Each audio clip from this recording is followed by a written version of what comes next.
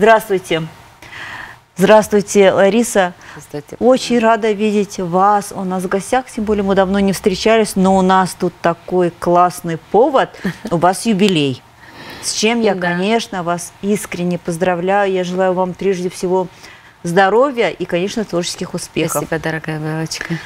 Если вот сейчас, оглядываясь назад, на мечты вашей юности, я имею в виду творческие мечты, вы можете сказать, что они сбылись? Ну, пусть не все, но хотя бы некоторые. Ну, практически да. А, Хотя мечтания были разные, а, совсем в разных они пространствах, но тем не менее. Наверное, все-таки я мечтала быть нужной людям. Э, С самого детства я всегда дружила с людьми старше меня, с бабушками, со своими, с тетушками. А, И всегда вот э, я видела, как они э, с добром относятся к родственникам, к близким, к соседям.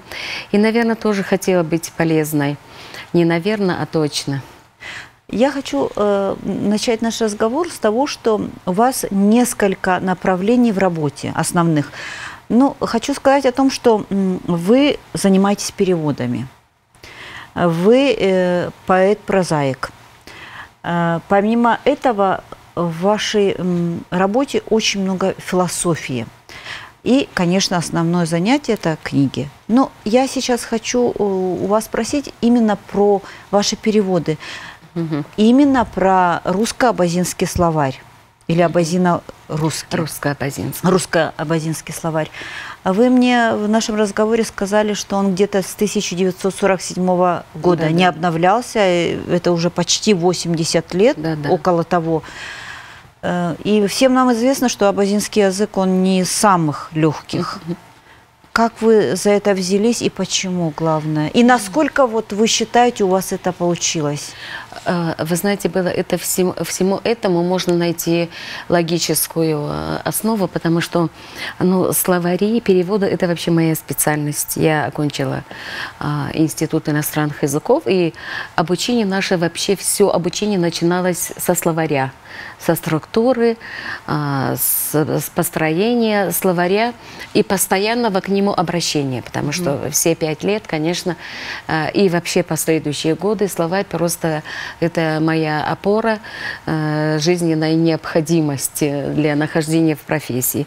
Э, Это, во-первых. Но случилось так, что э, очень не повезло нам э, со словарями, вот людям моего поколения, потому что словарь Тугова абазинско-русский, а, он э, небольшой, 15 тысяч, 14 или 15 тысяч, точно не помню. Но он тоже уже э, устарел э, значительно. А русско-абазинский он еще постарше. Поэтому вот мне, например, было очень трудно. Ну, э- эти словари достаточны для тех людей, которые, ну, постольку, поскольку занимаются языком. А когда ты э, занимаешься этим глубоко, в дебри, э, конечно, это э, было очень э, трудно, потому что э, объем-то был большой, вот у русско-абазинского словаря, но там очень много таких повторов э, вообще непонятных, очень много русскоязычного компонента, э, который включен туда без необходимости. Всему этому есть прощение, потому что это люди, первопроходцы, они первые э, начинали это дело, по- поэтому, э, конечно, все это присутствовало, но нам от этого не легче. Но за годы своей деятельности, конечно, у меня как бы э, образовался свой словарь, и когда я его просматривала снова и снова, я видела, что я могу туда встроить вот то, что у меня есть. А, и даже то, что я могу по ходу де- э, работы над этим словарем, э, очень много пришло по ходу. И вот эм, этот словарь под редакцией а, м, ой, да, э, Жирова Хамида. Ну, там есть группа составителей. Грамматический справочник составлял э, Султан э, э, Хусейнович э, Гонов. Но э, при всем моем глубоком уважении все-таки я хотела его изменить, и наконец мне это удалось. А, э, благодаря э, поддержке Экзекова э, Мусыха Балевича. Вот как-то э, уговорить-то мы его э, с Муминат Султановной уговорили, но времени уже отведенного у меня уже не было. Я не работала с ним, э, э, так сказать, э, достаточно только поверхностно. И вот э, лютой зимой э, случилось так, что я поехала в Пятигорск, я остановилась в гостинице, и две недели я просто погрузилась. Проблема была еще в том, в том что не было оригинал макета угу, э, этого угу. словаря, э, набора не было. Представляете, вот огромную помощь мне э, в этом оказали э, мои подруги из РИА Кавминводы, это Мещанчикова Алла и оператор Марина очень хорошая э, попалась. Они просто невероятно. И слава богу, что у них аппаратура оказалась такая, которая подняла вот этот весь объем уже плохо различимой, плохо нечитабельной практически, ну, слабо читаемой э, вот этой продукции э, вот в этом словаре. Угу. И мы, вы не представляете, начинали рано утром и заканчивали вообще темной ночью эту работу за две недели. Это невероятно. Но вы это сделали. Ну, это невероятно. Но я не хочу сказать, что я сделала все, что нужно, и все, что... Но я сделала все, что возможно за такой короткий период. Для сравнения я вам скажу, что русско-абазинский словарь, над которым трудится до сих пор, это с 91 -го года. Я помню, что в 91 году э, Нурия Татлустановна э, Табулова приглашала меня, говорит, ну возьми, пожалуйста, несколько букв, но я сказала, что я боюсь подвести, дети маленькие, транспорт mm-hmm. ходит плохо. Если бы я только знала, что это продлится, это, знаете, как э, Моисей, поход Моисея с евреями по пустыне. Честно, mm-hmm. вот так получилось. 30 э, с чем-то лет, или уже около 40 да, лет. Да, да практически да. так оно и есть. Но я это говорю не для того, чтобы... Ну и для того, чтобы, понимаете, так нельзя относиться к, такому нужному, важному для народа э, делу, поскольку я знаю, ну все, у карачаевцев, угу. э, даже, по-моему, по второму кругу, у черкесов точно по второму угу. кругу, угу. с помощью кабардинцев им-то полегче. А, и э, у нагайцев мне прекрасный экземпляр подарил Валерий Сиперович угу.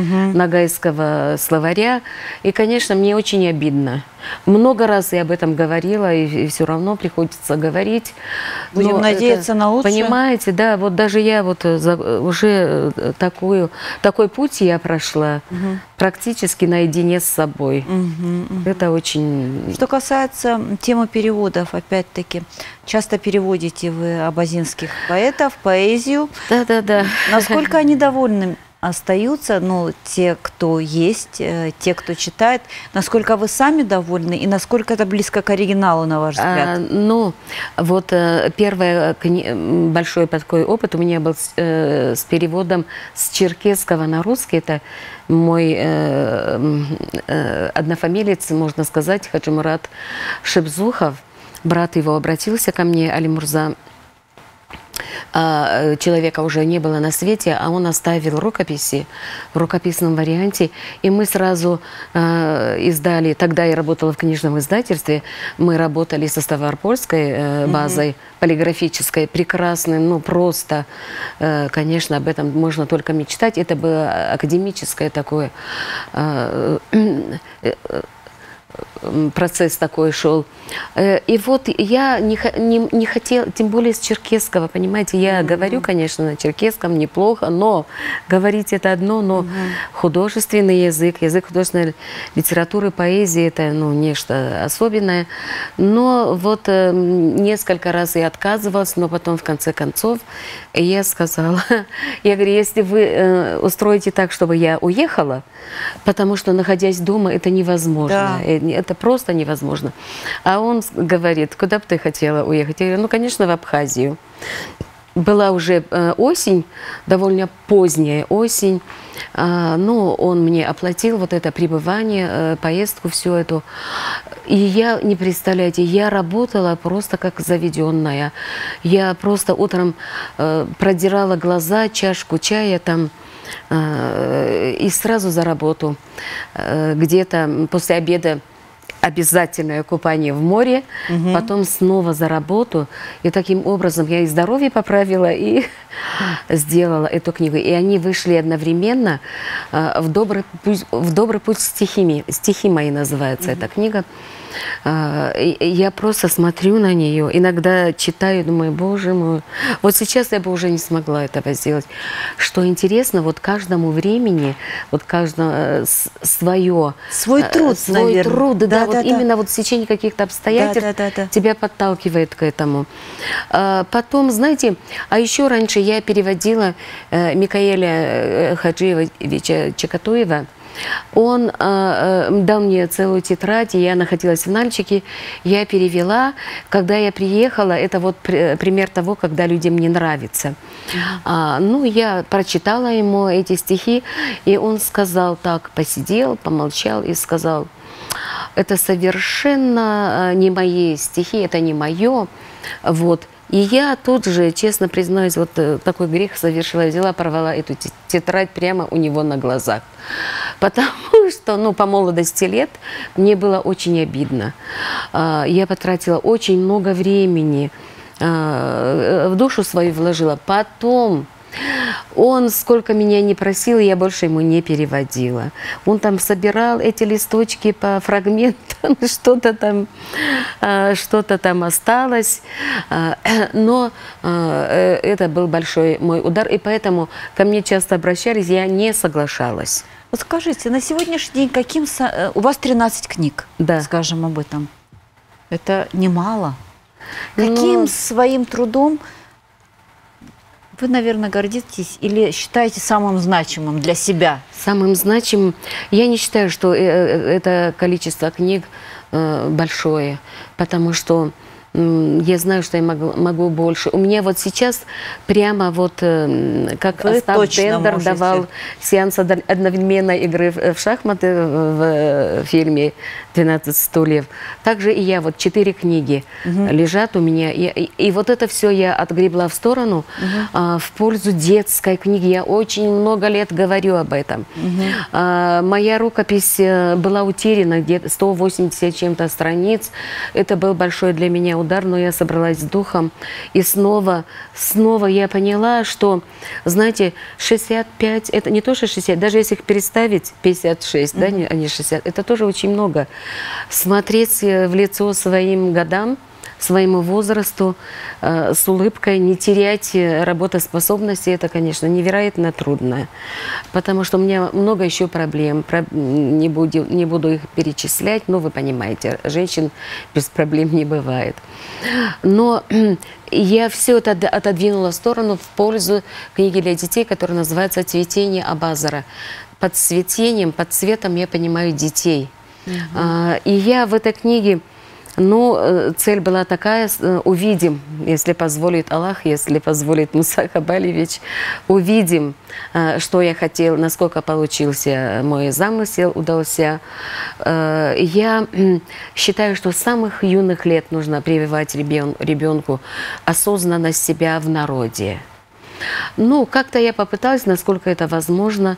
А, э, правильно вы сказали, было, что абазинский язык не то, что э, э, не самый легкий, а один из самых трудных. Но это если не учить его с детства, да. не находиться в этой среде. А тому, кто находится в этой среде, это естественно, это получается само собой. Но есть там, конечно, я начала с букв алфавита, на эти буквы э, четверостишие там у меня на каждую из них. Это поможет э, и родителям с детьми, и детям. Потом маленькие стихи, короткие.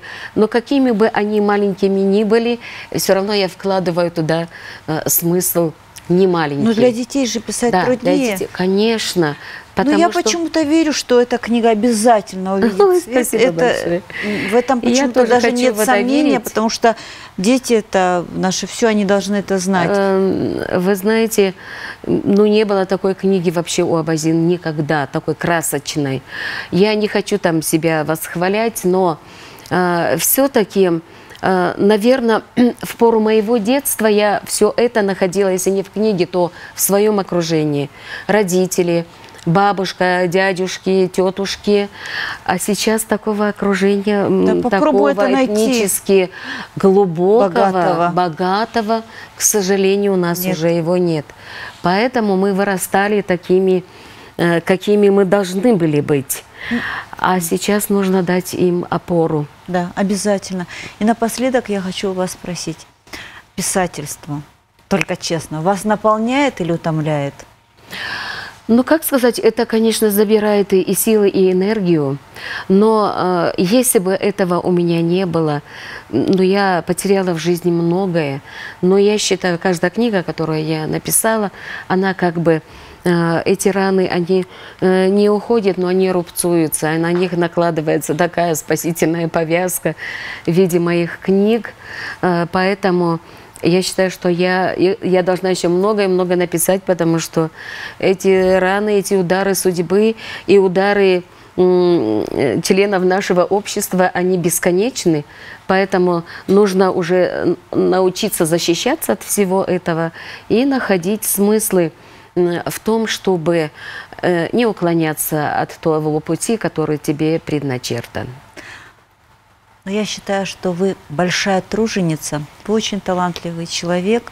Конечно, я, как прежде, желаю вам творческих успехов, здоровья, радуйте нас, приходите к нам. Спасибо. И еще долгие-долгие-долгие годы вам вдохновения. Спасибо, моя Спасибо. дорогая, большое спасибо.